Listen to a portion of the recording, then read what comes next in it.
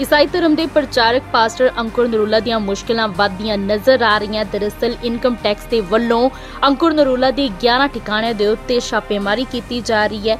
ਇਹ ਛਾਪੇਮਾਰੀ ਜਲੰਧਰ, ਕਪੂਰਥਲਾ, ਅੰਮ੍ਰਿਤਸਰ ਤੇ ਮੋਹਾਲੀ 'ਚ ਹੋ ਰਹੀ ਹੈ। ਦੱਸਦੀ ਕਿ ਇਸ ਤੋਂ ਪਹਿਲਾਂ ਗ੍ਰਹਿ ਮੰਤਰੀ ਅਮਿਤ ਸ਼ਾਹ ਵੀ ਇੱਕ ਵਾਰ ਵਾਰਨਿੰਗ ਦੇ ਚੁੱਕੇ ਸਨ। ਉਹਨਾਂ ਦੇ ਵੱਲੋਂ ਕਿਹਾ ਗਿਆ ਸੀ ਕਿ ਪੰਜਾਬ ਦੇ ਵਿੱਚ ਜੋ ਧਰਮ ਪਰਿਵਰਤਨ ਹੋ ਰਿਹਾ, ਉਸ ਦੇ ਉੱਤੇ ਨਕੇਲ ਕੱਸੀ ਜਾਵੇਗੀ। ਉਹਨਾਂ ਕਿਹਾ ਸੀ ਕਿ ਇਸ ਦੇ ਕਾਰਵਾਈ ਕੀਤੀ ਜਾਵੇਗੀ। ਉਹਨਾਂ ਕਿਹਾ ਸੀ ਕਿ ਜੋ ਬੀਜੇਪੀ ਹੈ ਉਹ ਹੀ ਸਿਰਫ ਧਰਮ ਪਰਿਵਰਤਨ ਨੂੰ ਰੋਕ ਸਕਦੀ ਹੈ ਤੇ ਅੱਜ ਪਾਸਟਰ ਅੰਕੁਰ ਨਰੂਲਾ ਦੇ ਠਿਕਾਣਿਆਂ ਦੇ ਉੱਤੇ ਆਈਟੀ ਵਿਭਾਗ ਦੇ ਵੱਲੋਂ ਛਾਪੇਮਾਰੀ ਕੀਤੀ ਜਾ ਰਹੀ ਹੈ ਜੋ ਵਿਭਾਗ ਦੇ ਕਰਮਚਾਰੀ ਆ, ਉਹਨਾਂ ਦੇ ਵੱਲੋਂ ਬਹੁਤ ਹੀ ਬਰੀਕੀ ਦੇ ਨਾਲ ਸਮਾਨ ਦੀ ਜਾਂਚ ਪੜਤਾਲ ਕੀਤੀ ਜਾ ਰਹੀ ਹੈ। ਦੱਸਦੀ ਕਿ ਛਾਪੇਮਾਰੀ ਜਲੰਧਰ ਕਪੂਰਥਲਾ ਅੰਮ੍ਰਿਤਸਰ ਅਤੇ ਮੋਹਾਲੀ 'ਚ ਹੋਈ ਹੈ। ਛਾਪੇਮਾਰੀ ਨੂੰ ਲੈ ਕੇ ਚਰਚ ਨਾਲ ਜੁੜੇ ਲੋਕਾਂ ਨੂੰ ਭਾਜਣਾ ਪੈ ਗਈਆਂ।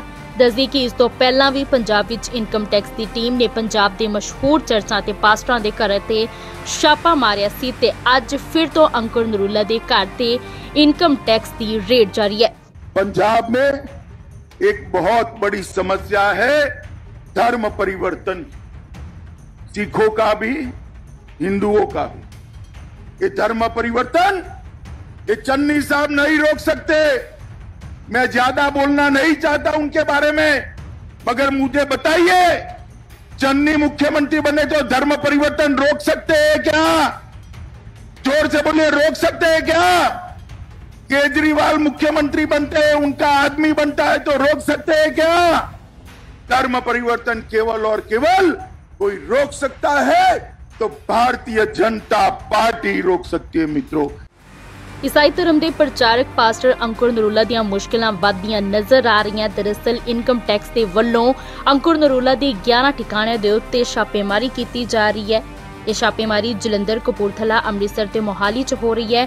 ਦੱਸਦੀ ਕਿ ਇਸ ਤੋਂ ਪਹਿਲਾਂ ਗ੍ਰਹਿ ਮੰਤਰੀ ਅਮਿਤ ਸ਼ਾਹ ਵੀ ਇੱਕ ਵਾਰ ਵਾਰਨਿੰਗ ਦੇ ਚੁੱਕੇ ਸਨ। ਉਹਨਾਂ ਦੇ ਵੱਲੋਂ ਕਿਹਾ ਗਿਆ ਸੀ ਕਿ ਪੰਜਾਬ ਦੇ ਵਿੱਚ ਜੋ ਧਰਮ ਪਰਿਵਰਤਨ ਹੋ ਰਿਹਾ, ਉਸ ਦੇ ਉੱਤੇ ਨਕੇਲ ਕੱਸੀ ਜਾਵੇਗੀ। ਉਹਨਾਂ ਕਿਹਾ ਸੀ ਕਿ ਇਸ ਦੇ ਕਾਰਵਾਈ ਕੀਤੀ ਜਾਵੇਗੀ। ਉਹਨਾਂ ਕਿਹਾ ਸੀ ਕਿ ਜੋ ਬੀਜੇਪੀ ਹੈ ਉਹ ਹੀ ਸਿਰਫ ਧਰਮ ਪਰਿਵਰਤਨ ਨੂੰ ਰੋਕ ਸਕਦੀ ਹੈ ਤੇ ਅੱਜ ਪਾਸਟਰ ਅੰਕੁਰ ਨਰੂਲਾ ਦੇ ਠਿਕਾਣਿਆਂ ਦੇ ਉੱਤੇ ਆਈਟੀ ਵਿਭਾਗ ਦੇ ਵੱਲੋਂ ਛਾਪੇਮਾਰੀ ਕੀਤੀ ਜਾ ਰਹੀ ਹੈ ਜੋ ਵਿਭਾਗ ਦੇ ਕਰਮਚਾਰੀ ਆ, ਉਹਨਾਂ ਦੇ ਵੱਲੋਂ ਬਹੁਤ ਹੀ ਬਰੀਕੀ ਦੇ ਨਾਲ ਸਮਾਨ ਦੀ ਜਾਂਚ ਪੜਤਾਲ ਕੀਤੀ ਜਾ ਰਹੀ ਹੈ। ਦੱਸਦੀ ਕਿ ਛਾਪੇਮਾਰੀ ਜਲੰਧਰ ਕਪੂਰਥਲਾ ਅੰਮ੍ਰਿਤਸਰ ਅਤੇ ਮੋਹਾਲੀ 'ਚ ਹੋਈ ਹੈ। ਛਾਪੇਮਾਰੀ ਨੂੰ ਲੈ ਕੇ ਚਰਚ ਨਾਲ ਜੁੜੇ ਲੋਕਾਂ ਨੂੰ ਭਾਜਣਾ ਪੈ ਗਈਆਂ।